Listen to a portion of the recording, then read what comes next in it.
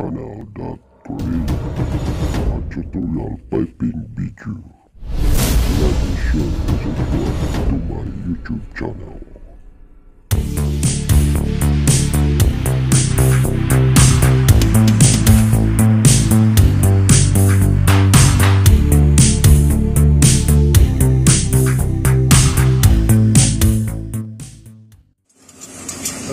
so this is the continuation from the downside pipe. So as per drawing guys, in this uh,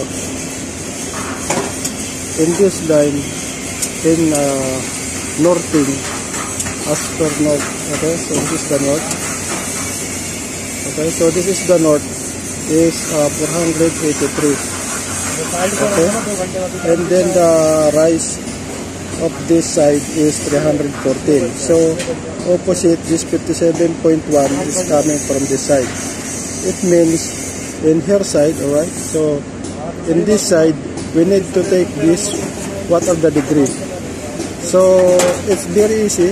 If this 57.1, for example, uh, 90, alright?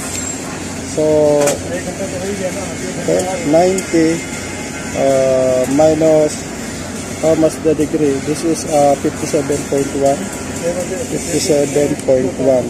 Okay. Okay, so this total is 33. This is 33 degree, alright? So now this is a 33, 33 degree, alright?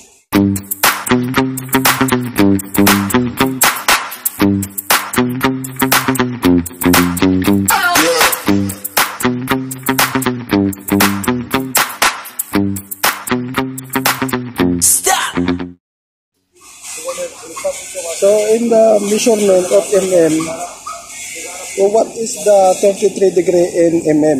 Alright, so 33 degree in your screen, this is the formula. Right? So full OD. OD or pipe.